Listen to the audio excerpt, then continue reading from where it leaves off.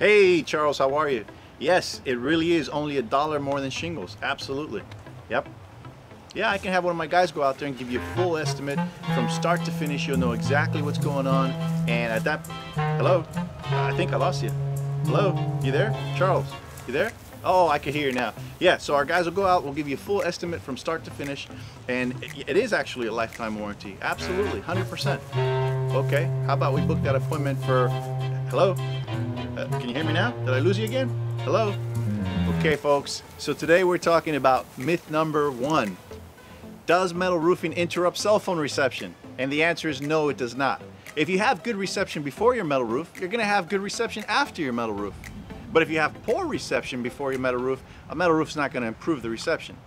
Think about this. Fire stations, city municipalities, and schools are all going to metal roofing.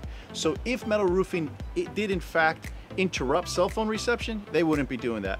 So give us a call today, Direct Metal Roofing, for your estimate on a brand new metal roof. Hello?